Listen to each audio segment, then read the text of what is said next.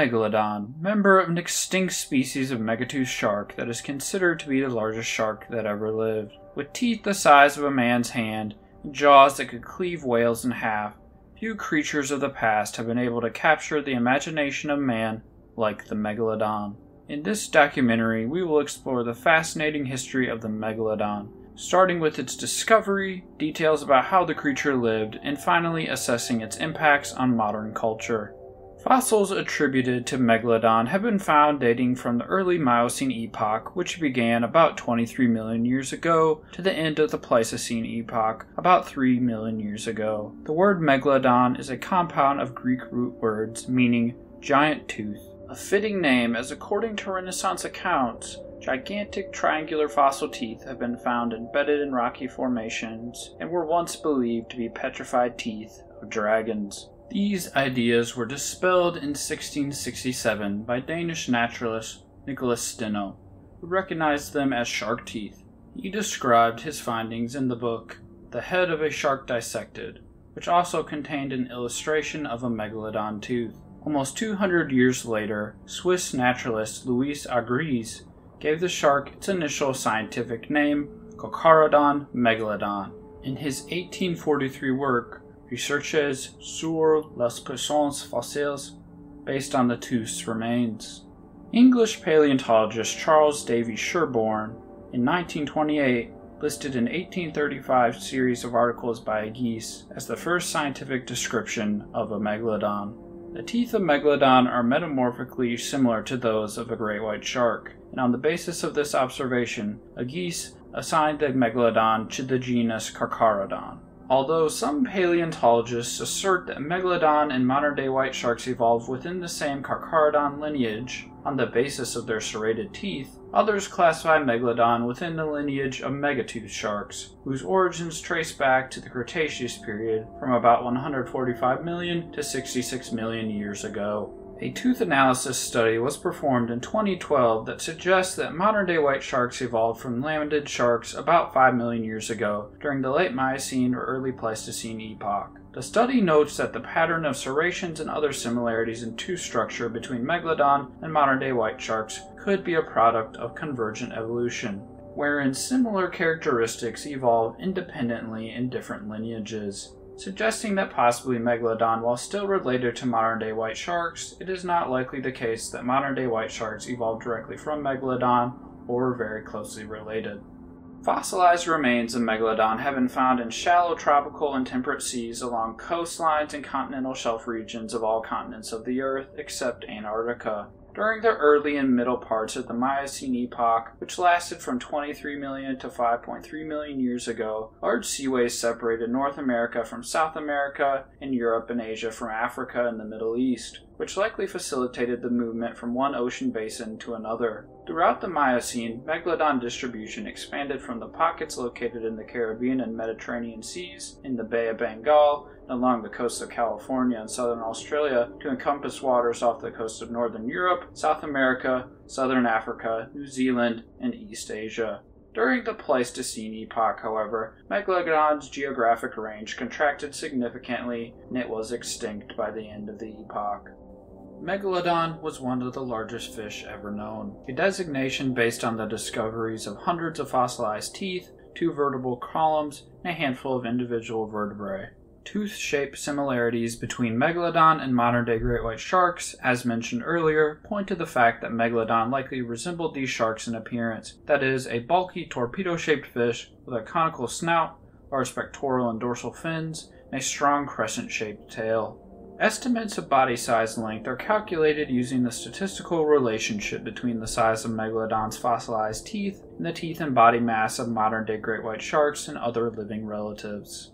This data suggests that mature adult megalodons had an average length of 10 meters or about 35 feet, the largest specimens measuring about 18 meters or 60 feet long, about the size of a modern day school bus. Some scientists, however, contend that the largest forms may have even measured up to 25 meters or 80 feet long. Studies estimate that the adult body mass ranged from 30 metric tons to more than 65 metric tons, or about 66,000 pounds to 150,000 pounds, and the adult females being larger both in length and mass than the adult males, just like modern day white sharks.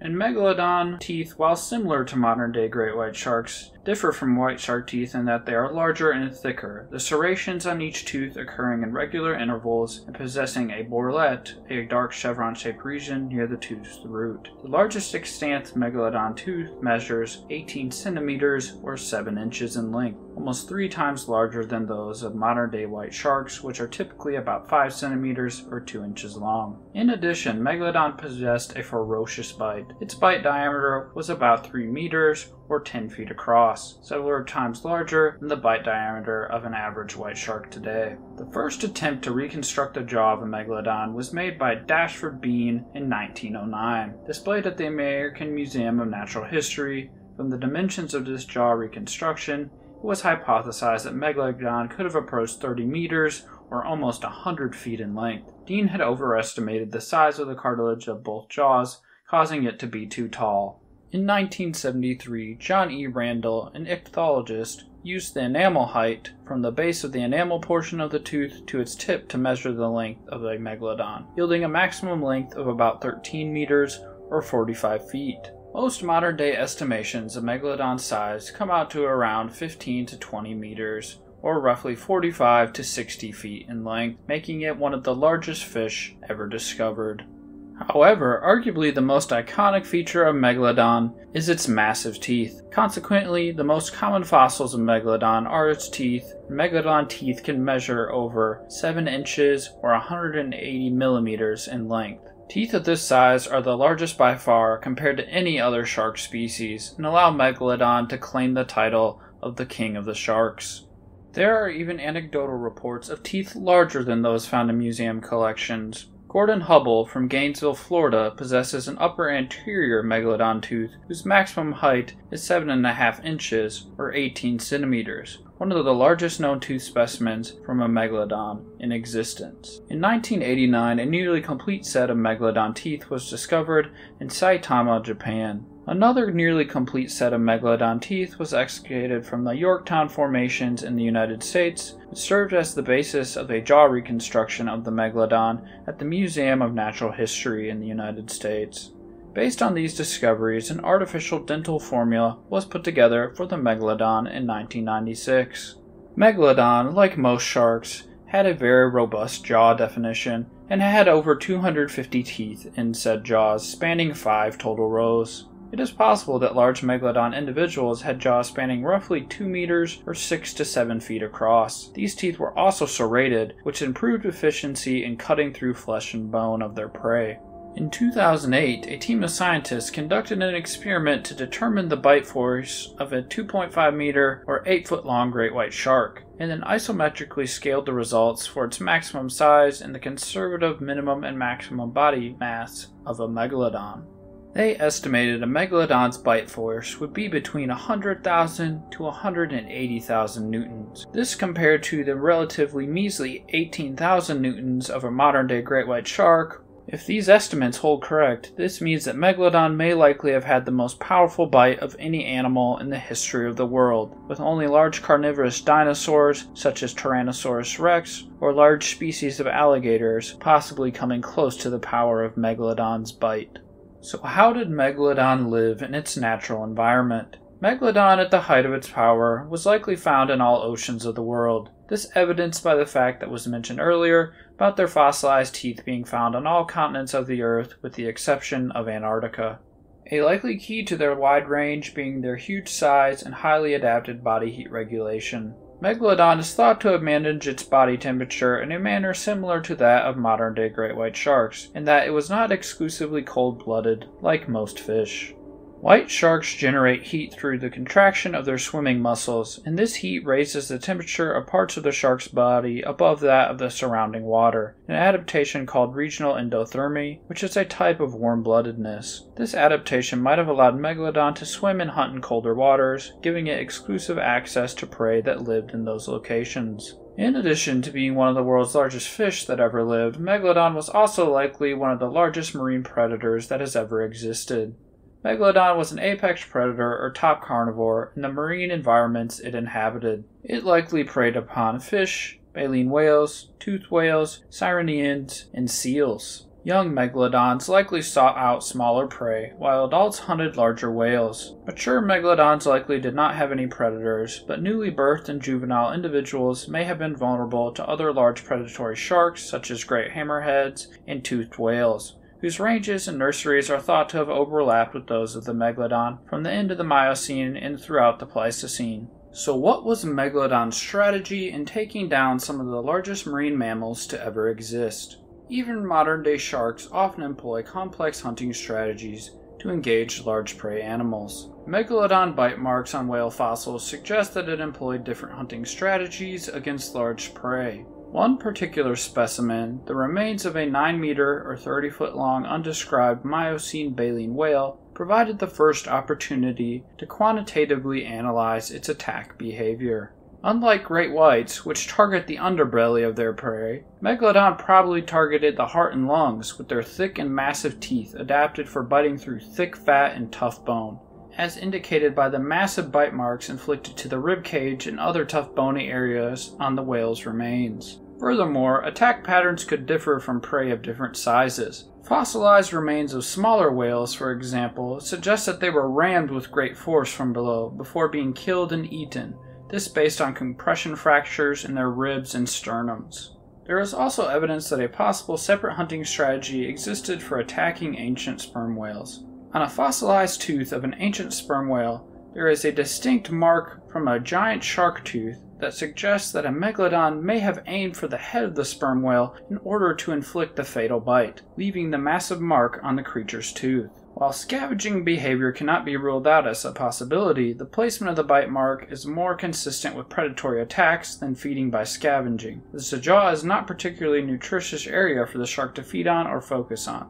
The fact that the bite marks were found on the toothed roots further suggests that the shark broke the whale's jaw during the bite, suggesting the bite was extremely powerful. The fossil is also notable as it stands as the first known instance of an antagonistic interaction between ancient sperm whales and a megalodon shark, recorded in the fossil record. During the Pleistocene, larger whales started to appear. Megalodon apparently further refined its hunting strategies to cope with these larger whales. Numerous fossilized flipper bones and tail vertebrae of large whales from the Pleistocene have been found with megalodon bite marks, which suggests the megalodon would immobilize the large whale before killing and feeding on it. Megalodon were contemporaneous with whale-eating toothed whales as well, which were also probably among the era's largest apex predators and provided competition. Some attained gigantic sizes, such as Leviathan, which was estimated to be about 14 meters to 18 meters or 45 to 60 feet in length, just as large as most megalodon. Megalodon may also have subjected white sharks to competitive exclusion at the time, as the fossil record indicates that other shark species avoided regions it inhabited by mainly keeping to the colder waters of the time. In areas where their ranges seem to have overlapped, such as the Pleistocene Baja California, it is possible that the megalodon and the great white shark occupied the area at different times of year, while following different migratory prey. Megalodon probably also had a tendency for cannibalism, much like contemporary sharks, and is inferred they lived solitary lives. So, how did Megalodon raise its young? Megalodon is thought to have produced live young. It is not known, however, whether the species actually produced live young or if they laid eggs. However, for most contemporary large sharks of modern times, they produce live young, and this is why this inference has been inferred by most of the scientific community. Estimates of body size using juvenile teeth suggest that newly birthed young may have been at least 2 meters or 6 to 7 feet in length. Few details are known about megalodon courtship, but the species appears to have used nurseries for its young. A 2010 study identified a megalodon nursery along the Panamanian coast, which was characterized by the presence of juvenile teeth from various stages of life. Scientists posit that this shallow warm water nursery provided young megalodons with access to a diverse array of smaller and more abundant prey items and enabled adults to better intercept attacks from other predatory shark species such as great hammerhead sharks, large toothed whales such as Leviathan, and other megalodons. As the young sharks grew older, it is thought they would make forays into deeper water in pursuit of larger prey animals. Young megalodons grew fast. In 2021, a study published findings calculating the growth rate of an approximately 9 meter or 30 foot individual based on the presumable annual growth rate shown by the rings on its vertebrae. They estimated the individual died at 46 years of age with a growth rate of 16 centimeters or 6 inches per year, a length of 2 meters or 6.5 feet at birth.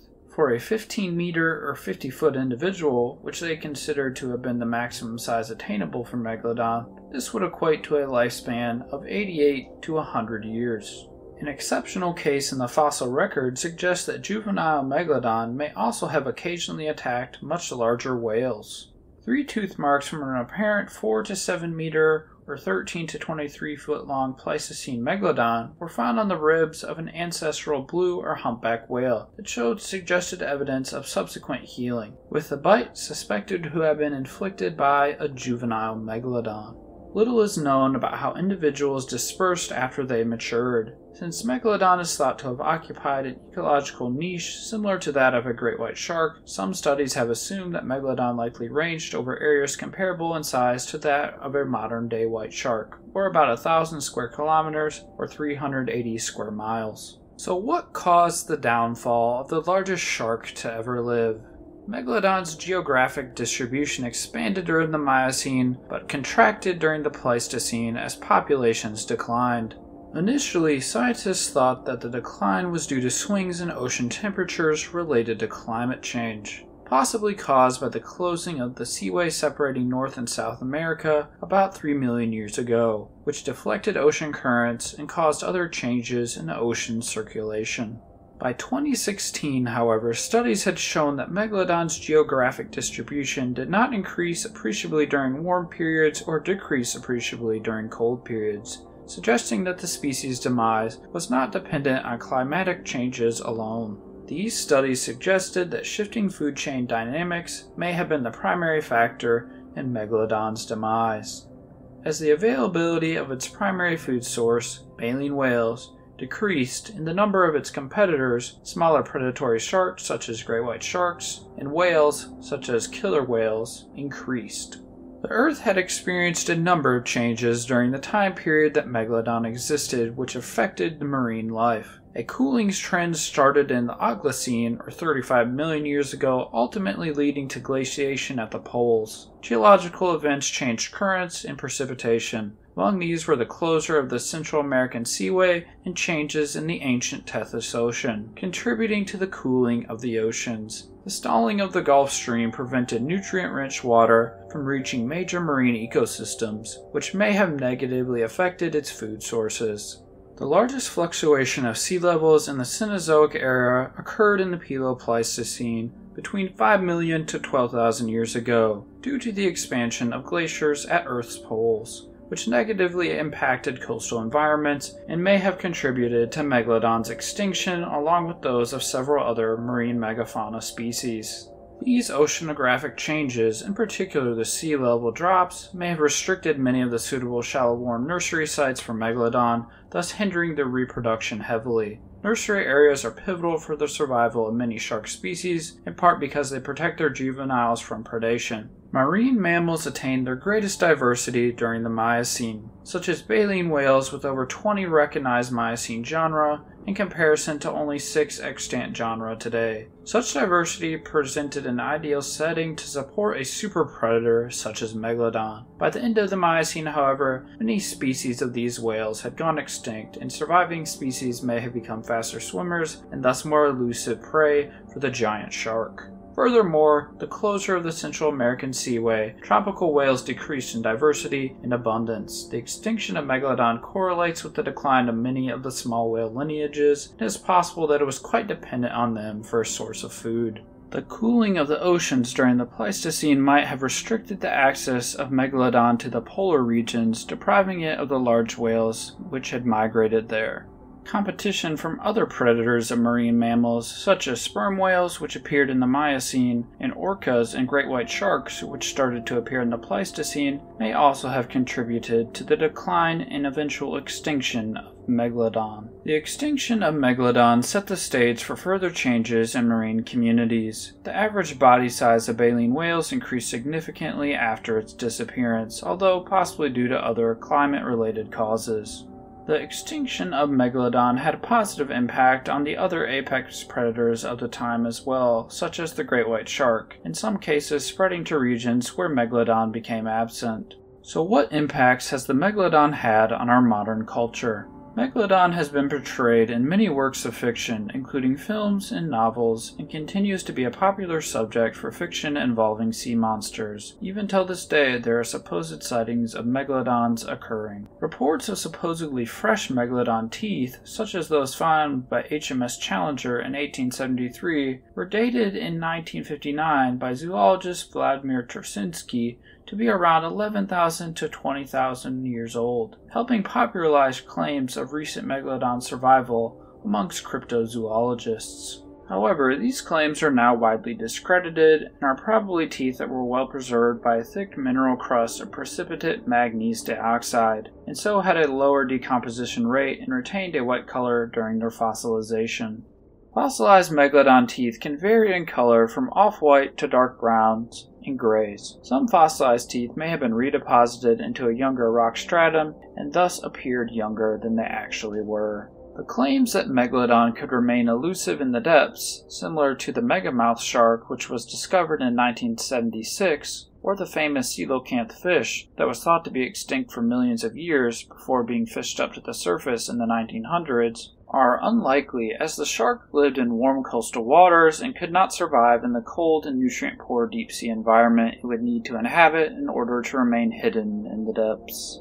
A recent supposed sighting of one of these megalodons occurred in September of 2022, when to the horror of shark researchers they saw a 15 meter shark shaped blob on their underwater movement detector. The giant red blob looked and moved like a shark and would have weighed an estimated 40 tons. For a moment, the researchers thought they were looking at a megalodon, a prehistoric shark that had been extinct for almost 3 million years. But as the researchers from the Atlantic Shark Institute watched in perplexment and fascination, the alarming red blob scattered into thousands of smaller fish. What the researchers were actually looking at was a crowded school of Atlantic mackerel which just happened to take the shape of a giant shark. Atlantic mackerel tend to huddle close together as a hunting technique. Rather than individually hunt for plankton and other morsels, mackerel crowd together in tightly packed phalanxes. But why did the researchers have Megalodon on the brain? This is likely due to the contemporary fiction about Megalodon surviving into modern times that was pioneered by the 1997 novel Meg, a novel of deep terror by Stephen Alten and its subsequent sequels. Following the book's widespread popularity, Megalodon subsequently began to feature in films, such as the 2003 direct-to-video Shark Attack 3 Megalodon, and later The Meg, a 2018 film based on the 1997 book which grossed over $500 million at the box office. Animal Planet's pseudo-documentary Mermaids: The Body Found included a encounter 1.6 million years ago between a pod of mermaids and a megalodon. Later, in August 2013, the Discovery Channel opened its annual Shark Week series with another film for television, Megalodon the Monster Shark Lives, a controversial docu-fiction about the creature that presented alleged evidence in order to suggest that Megalodon was still alive in the world's oceans to this very day. This program received criticism for being completely fictional and for inadequately disclosing its fictional nature to viewers. For example, all the supposed scientists depicted were paid actors, and there was no disclosure in the documentary itself that it was fictional. In a poll by Discovery, 73% of the viewers of the documentary thought that Megalodon was not extinct and was still alive in the world's oceans to this very day. In 2014, Discovery re aired The Monster Shark Lives along with a new one hour program, Megalodon The New Evidence, and an additional fictionalized program entitled Shark of Darkness Wrath of Submarine, resulting in further backlash from media sources and the scientific community alike. But despite the criticisms, Megalodon the Monster Shark Lives was a huge rating success, with almost 5 million concurrent viewers, the most for any Shark Week episode up until that point in time. These pieces of pseudoscience media seem to have inspired increasing sightings and reports of megalodons, despite any hard evidence to support their existence in our modern times with almost all megalodon sightings that are reported today awfully being simple misidentifications of known species of modern sharks, such as basking and whale sharks. With a vast majority of the scientific community agreeing an animal that is so large and whose diet consisted of mainly marine mammals that need to come to the surface to breathe means that it is nearly impossible in our modern age these creatures are still swimming today's oceans without any hard evidence of their existence. With this being said, it is doubtful that the sightings will decrease anytime soon, as now the megalodon is one of the most recognizable extinct animals to date, along with the common fears that humans harbor for both deep water and sharks alike, means that the largest shark that ever lived will continue to inspire fear and fascination for many generations to come.